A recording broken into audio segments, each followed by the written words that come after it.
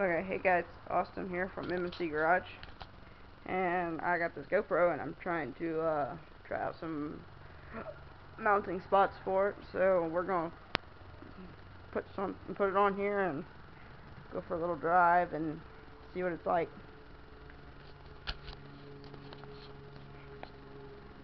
Right now we got it mounted on the hood. I'm probably gonna make a separate video for each mounting spot uploaded it once in a little while. Right in there. And